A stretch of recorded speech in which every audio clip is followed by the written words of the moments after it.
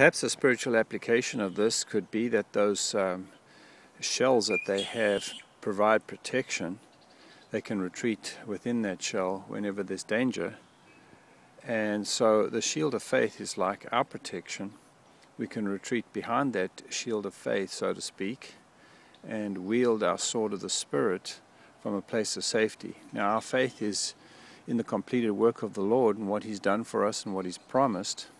And the sword of the Spirit is the words that we speak uttered by the Spirit in attack, in attack mode, where we are carving out territory for ourselves. Territory that Jesus has paid the price for, the en- enemy is illegally holding on to, and so we take back, so to speak, that which has already been paid for by the Lord. Much like the children of Israel did back in the day when the land was occupied by others, God uh, said, This land belongs to you. You can go in and take it. And they had to take it uh, by the sword, obviously in faith, and the enemy would resist them taking it back, the land that belonged to them.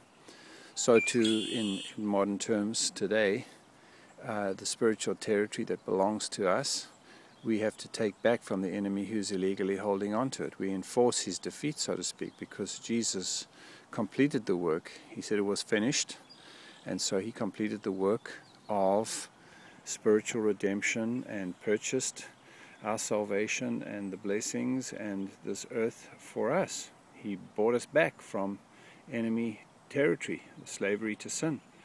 So taking it back works out from a position of rest, but nevertheless, there is some spiritual warfare, so to speak, where we hold up the shield of faith and we wield the sword of the Spirit, having worn and having placed on us and keeping on us the breastplate of righteousness, the helmet of salvation, the feet shod with the preparation of the gospel of peace, and the belt of truth.